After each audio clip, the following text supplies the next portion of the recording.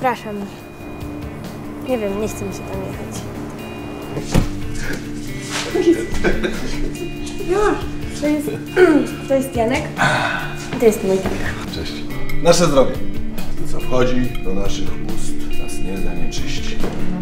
Ale to, co z naszych ust wychodzi, jest tym, co nas zanieczyści. Co ty myślisz, Janku? Moja mała, głupia dzinka. Ja pierdolę, wyluzuj się choć trochę. Spierdaj!